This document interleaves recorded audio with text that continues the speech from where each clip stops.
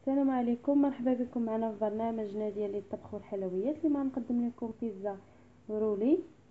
كيف ما كتشاهدوا معايا كيفاش تجي رطبة وهشيشه نمشيو دابا للمقادير. غنحتاج هنا الفورص على حسب كل واحد والقياس ديالو في الفورص زيت الزيتون حسب أربعة المعالق هكذاك.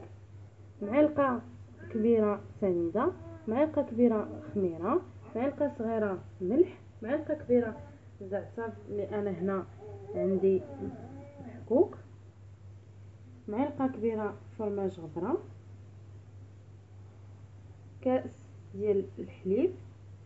والماء على حسب اللي غيجمع لينا الخليط. بالنسبة للحشوة عندنا بصله مشلضه رقيقة هكا كيف ما كتشوفوا فلفلة كذلك ومثلا عندي هنا حبة خضراء وحبة حمراء.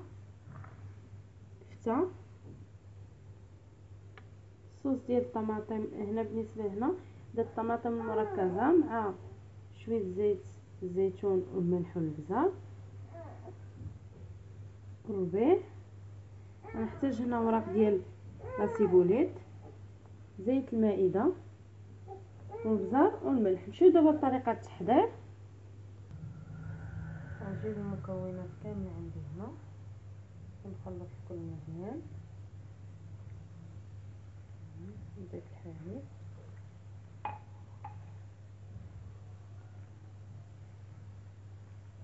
من بعد غنبدا نضيف الماء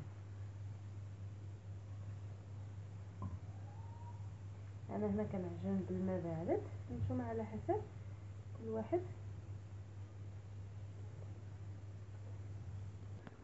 كيف ما كتشاهدوا معايا من بعد ما عجنت العجينة ديالنا كيفاش مرخوفه أنا هنا قسمتها على جوج وكورتها غنغطيها يا بابي فيل اولا شي زيت ونخليها حتى تخمر شوية.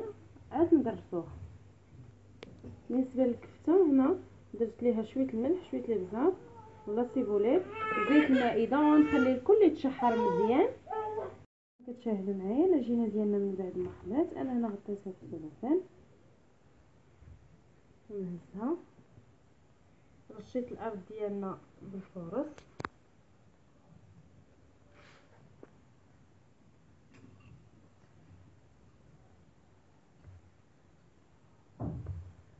غنسرح العجينه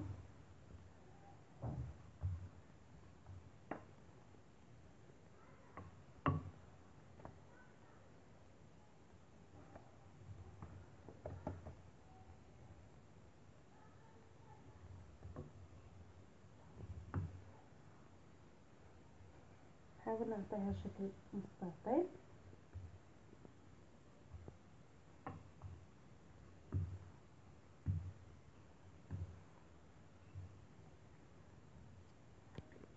من بعد ما صبحت العجينه ديالي غنجيب صوص طماط.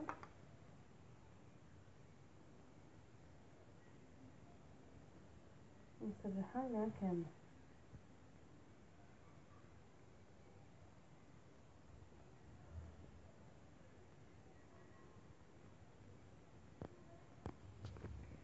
غنضيف دابا البصله خضراء هادشي علاش أنا قطعتها رقيقة؟ غنديرها خضراء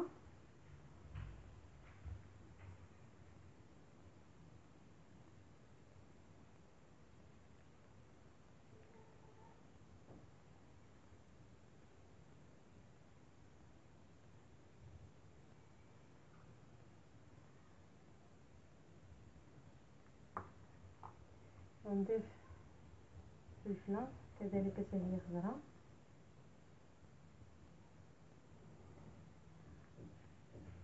أنا هنا بالنسبة لهنا اللي ما بغاش يدير صوص طوماط يقدر يدير غير الطماطم مقطعة.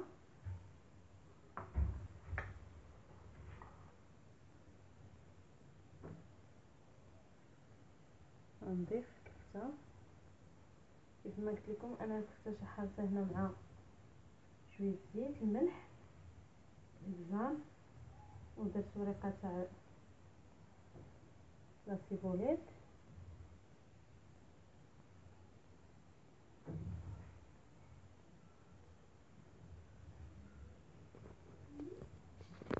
من بعد دابا غنبدأ. نخرجوا ليه العجينة ديالنا. غير شوية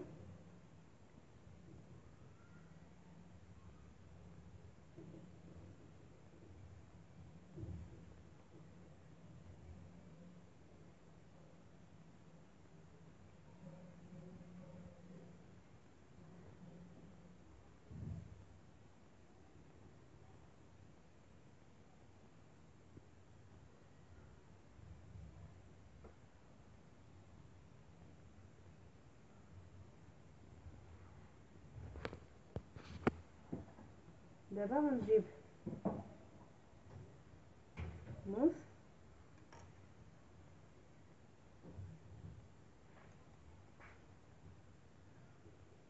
وغنبدا غير بشويه